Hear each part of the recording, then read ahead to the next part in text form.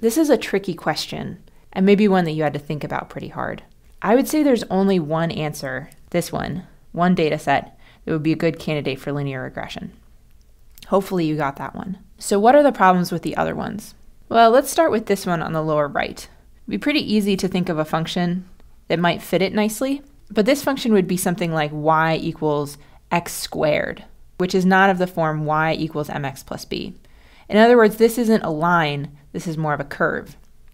There are ways that you can fit these functions, but it wouldn't be an example of linear regression.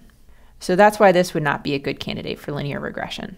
One possibility that's almost good for linear regression is this one, because you can fit it with lines, but you need two different lines to fit the pattern adequately. In fact, if you try to fit this whole data set with one line, it would probably give you something like this.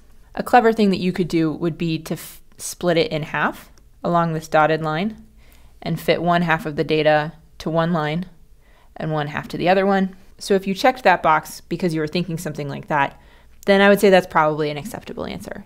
But just as it is, there's not a single line that fits all of these data points. So I would say that without doing something like fitting it piecewise, this would not be a good candidate either. Next, let's do the data set in the top middle here. The problem here is just that the data is all over the place. There doesn't seem to be a very strong pattern. So there's lots of different lines that might all have very similar r squareds or sum of squared errors They could all look very different. And in this case, it's hard to say that any of these lines is really describing a pattern in the data very well. So I would say that this is not a particularly good candidate. And this last one on the upper left is very tricky. And if you got this one wrong, you shouldn't feel too bad because it's tough. And the problem with this one is let's look back at this equation y equals mx plus b.